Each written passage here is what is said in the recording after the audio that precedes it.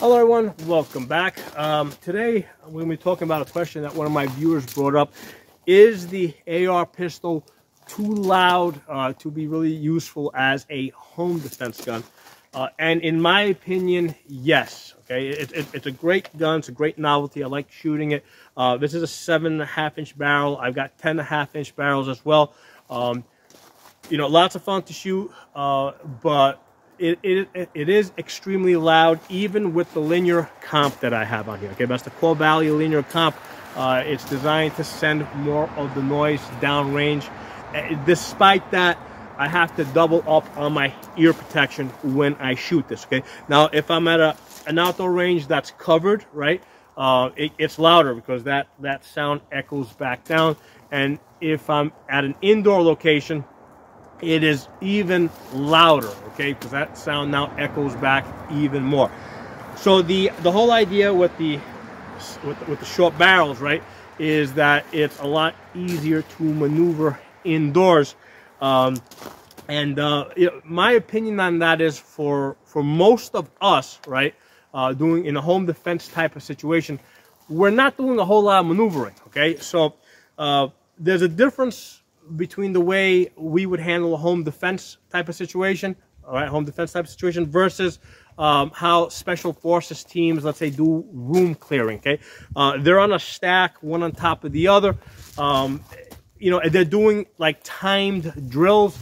I'm sure that in timed drills, uh, having a barrel that is maybe a couple of inches shorter uh, will facilitate, will basically allow the team to be, I don't know, a few seconds faster through the drill. Okay, we're not training like that. Okay, um, our most likely, you know, most likely uh, type of home defense type of scenario is we are, let's say, behind a position of cover. Let's say behind our bed right in the bedroom or in the basement or wherever.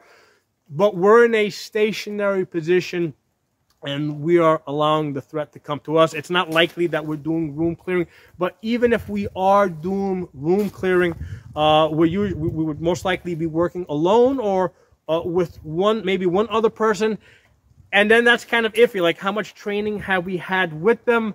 you know so it's not like um, uh, it's not like a, uh, a, special forces team that has been drilling repetitively uh, so that it's going off like clockwork okay uh, a couple of extra inches on the barrel i don't think are going to make a difference um, what i think is going to make a difference is basically flash banging yourself right because every time you shoot this indoors um, especially if you haven't like doubled up on your ear protection it, it's essentially like you're being flash flashbang. I'll shoot the gun now. You you'll you're not gonna see a whole lot of flash because it's not really that dark, but you'll you'll see some flash. Okay. So there's a flash there. If in in if the light was even less, uh, what happens is the uh, basically you stop. You, you, lose the ability to see your reticle. Uh, you momentarily lose the ability to see your target. Okay. Uh, so the the flash uh, you know, as it gets darker, the flash becomes more and more overwhelming. Uh, the linear comp that I put on it really, you know, it helps, but it doesn't help a whole lot with the noise and the flash.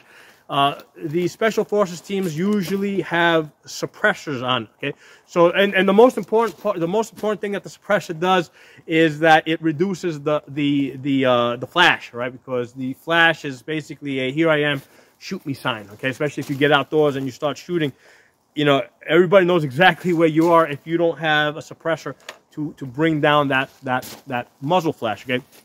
Um, so, so now, here's the thing. With uh, I have shotguns with suppressors. If you have like a 16-inch rifle, uh, you put a suppressor on it, and now becomes like a 20-inch barrel, right? Because it lengthens it up. Um, if you have, let's say, a, a 10 and a half inch barrel, you put a suppressor on that, now it becomes a 14 inch barrel. Okay, if you have a seven and a half, you put a suppressor on that, you know, now it becomes like a 10 inch barrel. So the suppressor, um, in my opinion, kind of negates the benefits of um, uh, of of moving to the shorter to the shorter barrel. Because if you gotta, you know, it, it, it, it, to me it makes more sense to just stay with a 16 inch barrel. Okay, uh, stay with the 16 inch, inch barrel so that you don't need the suppressor, so that the noise is still kind of manageable. Uh, you know, with, with some ear protection. Um, even at least with the plugs, right? With the six inch barrel, maybe you can just get away with the plugs if that's all you have. Um, ideally, you'd rather have earmuffs. Um, I always keep electronic earmuffs in my safe. Where, wherever my rifle is, I got earmuffs for both me and my wife, right? So we can't, we got to be able to communicate with each other. I also got to be able to hear what's going on around the house, if, if, there's a door opening or a window breaking. So, so maintaining my hearing is an important part of the self-defense, of the home defense plan. You have to maintain uh, your ability to hear. So that's why I, I keep electronic earmuffs wherever I keep wherever I keep my guns in my house. Okay, I go to get the guns. I'm, I'm gonna get I'm gonna get the earmuffs as well. Okay, so um, let's let's talk really quickly about the power loss. Okay, so I've done videos where I tested where, where I put the seven and a half. Uh, I shot this through a chronograph. Um, the the seven and a half inch barrel gets about 640 foot pounds of energy. Okay, so basically this is like a uh, like a 44 Magnum in terms of, of, of energy, right? 40, either high end 357 or low end or medium 44 Magnum. That's what you're getting. You're basically losing about half the power, right? The out of a 16 inch barrel, you're usually getting somewhere around 1100, 1200 foot pounds of energy. Um, so you're getting about 640 with this. So you're losing half your power. Okay, on the 10 and a half, um, it, it, drops, but not as much. On the 10 and a half, it drops down to about uh, 950 foot pounds, 900 foot pounds sometimes. So it depends on what ammo you have. So let's let's say I've seen it go as low as 850. So let's say 900 foot pounds of, of energy. So you're losing a little, eh, you know, you're losing a little bit on the, uh, um, you, you're losing a little bit on the 10 and a half inch. You're losing a whole lot on the on the seven and a half inch. Um, my thought on the seven and a half inches, even though I love this, is a great novelty. I, I love shooting this. Um, when I I have a nine millimeter AR pistol, right? So with the nine millimeter, when I ran, you know, seven and a half inches, when I ran that through the chronograph, that got 400 foot pounds. Okay, so because now nine millimeters usually, usually shot out of a much shorter barrel, right? That's usually shot, let's say, out of four inch barrel, right? So when you shoot the nine millimeter now out of seven and a half inches, you're gaining a little extra, you know, a little extra energy. So that comes up to 400 foot pounds. Okay, this drops down to 650. The difference between my nine millimeter AR pistol and this is a difference a difference in energy of uh, about 240 foot pounds. Okay, so the interesting thing there is, you know, the the nine millimeter AR pistol, you're you know, you, it's still it's still a, a, decent round for indoor shooting, right? Um, and you don't have all that extra noise, all that extra. You don't have the extra muzzle flash. Is if you're gonna if you have to be at seven and a half inches, is it worth gaining the extra 240 foot pounds just to use a 5.56 caliber, right? So you got the extra noise, extra extra um, flash. In my opinion, no. Okay, if I have to, if I decide that I need to use a seven and a half inch barrel, uh, I'm going to use the, uh, I'm going to use that in a nine millimeter. Okay, uh, now there's, you got to test the gun. You got to make sure it's reliable. The, the, the the issue that I sometimes see with nine millimeter ARs with the shorter barrels is sometimes you have issues with the with the hammer resetting. So you, so you got to test it a lot to make sure that the gun's going to be reliable. Of course, you're always going to have your backup pistol.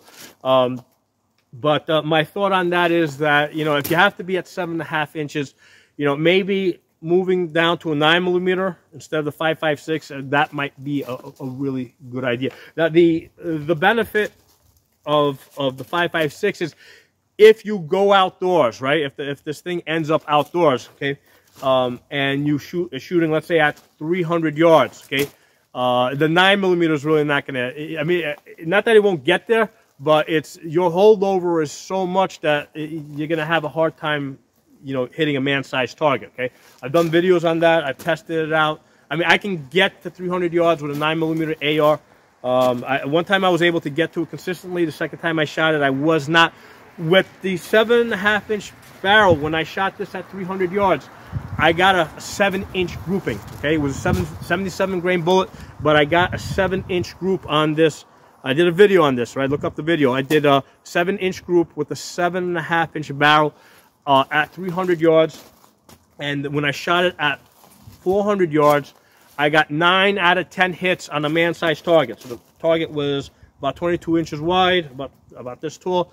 I got nine out of uh, 10 hits on that. Then I from then I went out, out to 500 yards at 500 yards, I got uh, seven out of 10 hits on a man-sized target. Okay, so so so this if you if you're going to be indoors and there's a good chance you're going to be shooting at distance outdoors, yeah, the nine millimeter is not going to be cutting it if you if you think they're going to be shooting past you know past 200 yards. Okay, I mean I can get out to 200 yards with a nine millimeter, but past that, I there's there's a a massive drop off. So so this will get you there. Now the question becomes how much power does this, how much energy does this have at the 300 yards, 400 yards, or 500 yards? Um, well, my answer to that is at 500 yards, right? If I can put effective hits and, you know, seven out of 10 hits on a man-sized target at 500 yards, I mean, I would consider that effective accuracy. Again, that was with 77 grain bullets. I would consider that effective accuracy. At that distance, okay, I only need to wound the threat, okay? Uh, because if I wound them, they're not going to that's going to make them go away. Okay, if, if somebody is shot, even even with a 22, at that type at that type of a distance, right, at three, four, five hundred yards, if they're wounded, they're not going to attack forward. They're going to look to get out of there. Okay, uh, which is different than let's say if you wound somebody at 100 yards or 200 yards. Um, at that distance, them retreating may not be an option because if they retreat, they're just going to get shot in the back. So at two at, at, at 100 yards and 200 yards, um, you I, I think that you need you, you absolutely need a more lethal round um, because it, their mindset is that hey, if we retreat, we're going to get shot in the back, even though we're wounded.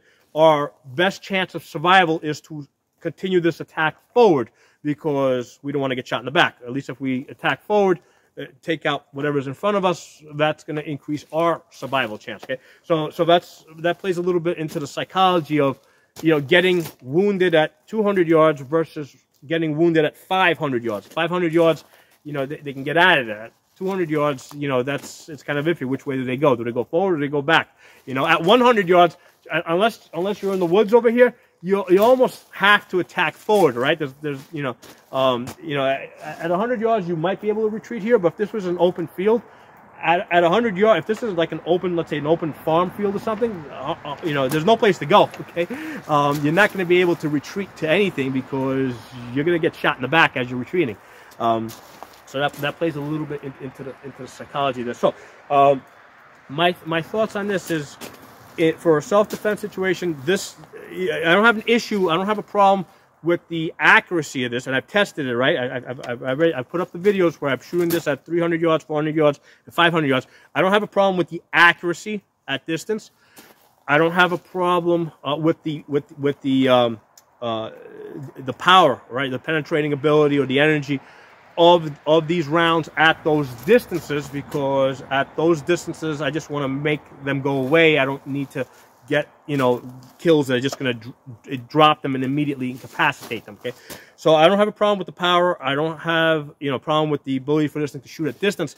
My problem is that when you're indoors, right, in that CQB environment, uh, this is annoyingly loud, okay, and distracting. And if you don't have good ear protection, um, you know, you're basically flashbanging yourself, right? It feels like like you're getting like your brain is getting punched through your ears. Um, and what that does is it slows down your reflexes. Okay, you're not going to be as fast. You're not. You, are gonna. You, you know. You're, you're, gonna. And you know, I've shot these guns with minimal ear protection. Right. Like if I shoot these guns with just earplugs. Okay. Uh, in an outdoor environment, uh, it, you know, it, it, does like slow, like it, it, becomes a distraction where like your thinking process actually slows down. Um, so I've seen it. I've also noticed it in other people while they were seeing. I asked when I asked them questions, their their ability to answer you back uh, slows down a little bit, right? Because they're getting kind of brain punched. Okay, um, so that's it's, it's it has it's it's stunning, right? That's why they use flashbangs uh, because it stuns people. Okay, and that that's the effect that I have noticed uh, with these short barrels if you're shooting them uh, indoors. Um, so, and the thing is, the, the whole idea with this is that it was designed, the whole concept behind this is that it's supposed to be better indoors because of the noise and, and the flash. I don't think it is better indoors. I think that most people would be better off with just a 16 inch barrel. Now, question becomes why do like uh, special forces teams all seem to use uh, these short barrels, right? They all they all have short barrels, 10 inches, 12 inches.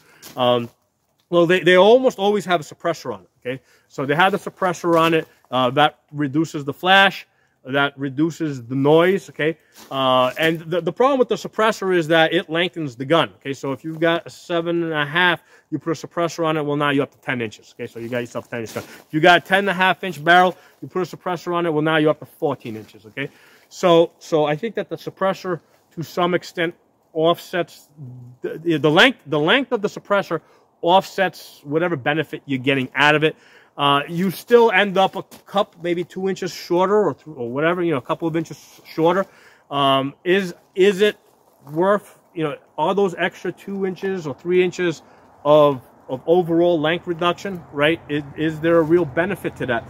Well, for special forces teams to be using it, there must be. Okay, I'll accept that. There must be a benefit, otherwise they wouldn't be doing it. However, let's consider how they are training. Uh, the way they train, they do like these time drills uh, that they repeat over and over and over again. Uh, and they're on a they're working with a team, so they're on a stack, one behind the other. So if you're on a stack, yeah, it, there's a benefit to having the shorter barrel, so that you know the, the, the barrels aren't getting like all tangled up with each other.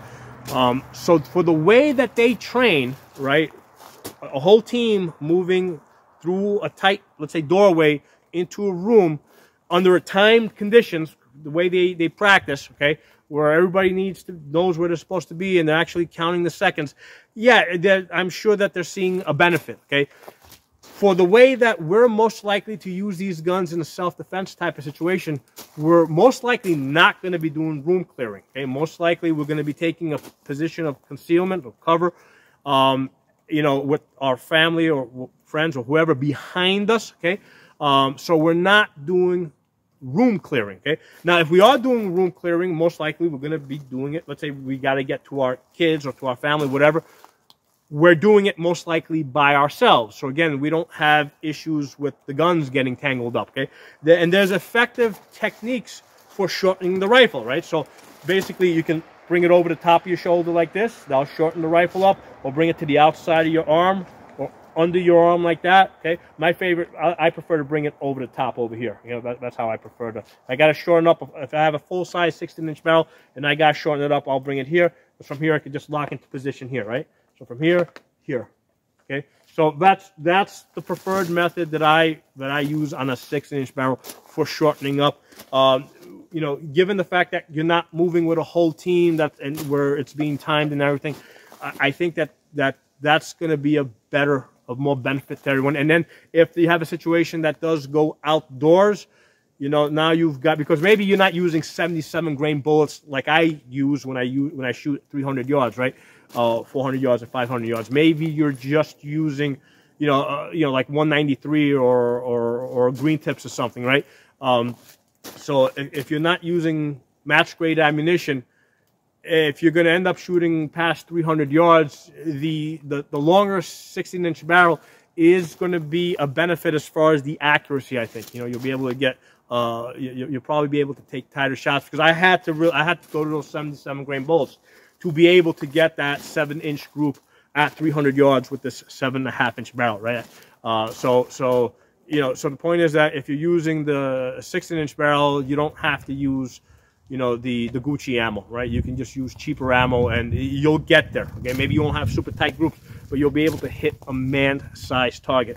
Uh, so, so there's my thoughts on this. Um, just opinion, uh, but again, I, I, get to shoot these guns. I shoot every day. I have different length guns. Um, I have, you know, seven and a half.